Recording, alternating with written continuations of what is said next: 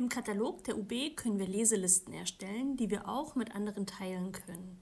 Diese können dann zum Beispiel in Lehrveranstaltungen, im Moodle oder als private Merkliste in Literaturverwaltungsprogrammen verwendet werden. Für den vollen Umfang müssen wir auf der Seite ub.uni-leipzig.de in unser Bibliothekskonto eingeloggt sein.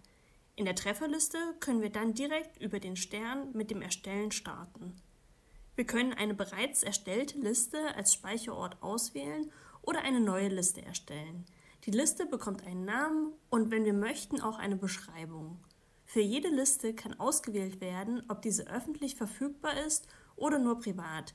Listen können mit anderen geteilt werden.